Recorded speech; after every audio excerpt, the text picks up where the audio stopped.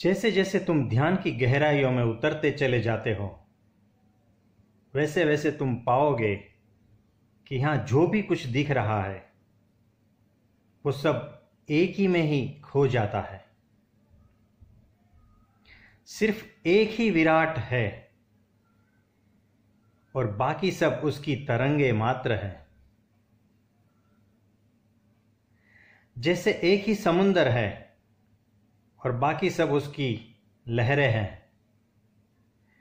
जैसे एक ही सूरज है और बाकी सब उसकी किरणें हैं।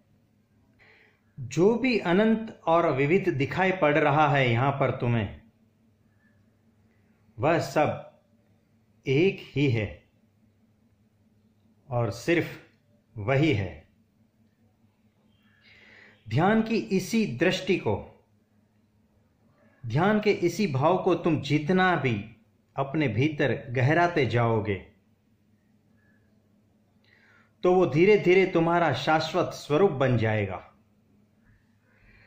मेरे इन शब्दों को चाहो तो तुम पकड़ के अपने भीतर विकसा लो, या फिर इसे बिना छुए ही आगे बढ़ जाओ। ये तुम्हारा निर्णय है। लेकिन याद रखो मौका तुम्हें सिर्फ़ एक ही बार मिलता है। Thank you